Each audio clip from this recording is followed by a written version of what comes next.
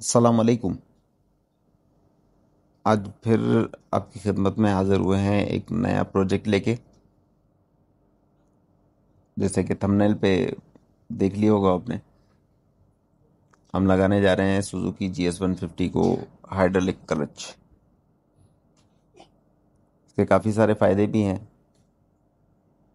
Wire से जान छूट जाती है फ्रिक्शन ख़त्म हो जाता है इजी क्लच हो जाता है। तो ये सारा प्रोसेस मैंने इसमें रखा है वीडियो में। तो आप देख सकते हैं कि किस तरीके से जो है ना वो इसकी प्रॉपर फिटिंग होती है।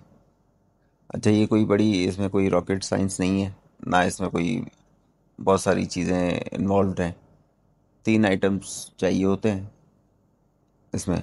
एक ऊपर का मास्टर सिलेंडर है लेफ़्ट साइड का। हाइड्रोलिक पाइप है। मैंने वन अट्ठारह सौ एम एम का मंगवाया था। क्योंकि मुझे उसको टर्न करना था टैंक के नीचे से घुमा के आया था मैं। लेकिन अगर आप 1200 सौ एम का लगाएँगे तो भी वो केबल के रूट से आ जाएगा, जो पुरानी केबल आपकी लगी हुई है। तो उस रूट से भी आ जाएगा।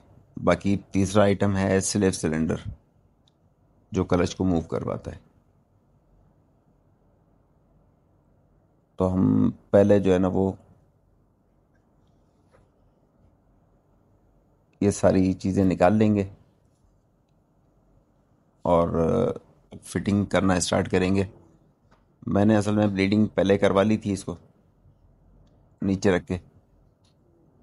लोग ब्लीडिंग से घबराते हैं तो ब्लीडिंग भी इसकी कोई इतना बड़ा इशू नहीं है। इसमें एयर निकालना और ये सारी चीज़ें करना इसकी ज़रूरत ही नहीं पड़ती। आप ऊपर से आयल फिल करेंगे। आप भले पहले मास्टर सिलेंडर को फिट कर लें, नीचे स्लैब सिलेंडर को फिट कर लें, फिर पाइप सेट करके और उसके बाद जो है आप भले पाइप को दोनों तरफ़ से ज्वाइंट करें और फिर आप जो है ना उस पर ब्रेक आइल डाल के और उसको जो है ना वो प्रेशर बना लें उसका, वो वर्क करने लग जाएगा। बस कुछ चीज़ों की जो है ना वो एहतियात है इसमें, वो मैं आपको बता देता हूँ। इसकी सारी सेटिंग्स जो हैं वो स्लेब सिलेंडर की हैं।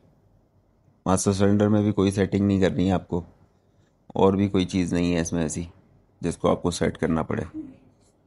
ये फिटिंग सारी प्रॉपरली उसी स्टाइल में होगी, जिस तरीके से आपका पहले क्लच लगा हुआ था। बाकी स्लेब सिलेंडर की आगे से डंडी निकली हुई होती है, बड़ी। क्योंकि वो हर किसी बाइक का क्लच अपने हिसाब से खुलता और बंद होता है। तो हर कोई अपने हिसाब से सेट करे। तो इसलिए वो आप देख लेंगे कि जहाँ से क्लच आपका स्टार्ट हो रहा है, वहीं से आप जो है ना, वहाँ रख के उसको नाप के आप काट लेंगे। डंडी को स्क्रू होता है वो लंबा सा तो आप उसको कट कर लेंगे। बाकी सारी चीज़ें जो है ना वो इंक्लूडेड uh, सारी चीज़ें मकसद क्लिप वगैरह सारी चीज़ें उसमें साथ में आती हैं। इस पर मैंने छोटे छोटे रिव्यूज़ भी बनाए थे तीनों आइटम्स के। तो आप वो देख सकते हैं। मेरे चैनल पे मौजूद हैं वो। आप देख रहे हैं ये मैं सिलेंडर स्लेब सिलेंडर फिट कर रहा हूँ। अच्छा ये थोड़ा सा मुश्किल से जाता है क्योंकि ये जगह ऐसी है कि आप सीधी फिटिंग प्रॉपरली नहीं कर सकते इसकी। तो मे भी आपके केस में ऐसा हो कि आपको इसको थोड़ा सा घिसना पड़े, जहाँ आप स्लिप सिलेंडर फिट कर रहे हैं या जहाँ केबल लगती है जाके। इसको थोड़ा सा मामूली से आप घिसेंगे तो वो आपका स्लिप सिलेंडर अंदर चला जाएगा इसमें। उसके बाद आप प्रॉपरली पाइप पाइप टाइट करके और इसको टाइट करके इसमें तीन डिब्रीज लगी होती हैं। एक तो बैक की है, वो खोलनी नहीं है आपको। दूसरी उसके साथ रख के चेक नट करके और तीसरी को आप दूसरी तरफ़ से लगा के और टाइट कर दें। तो ये प्रॉपर एक जगह पे जो है, रुक जाएगा। बाकी प्रोसेस रह जाता है आगे फिटिंग का। तो आप क्लच लीवर के साथ उसको, नीचे जो इंजन से लीवर आ रहा है, उसके साथ फिट करेंगे। और इसकी ब्लीडिंग करवा के। इसमें बताते खुद कोई स्प्रिंग वगैरह नहीं होता क्योंकि ये रिवर्स नहीं जाता वापस।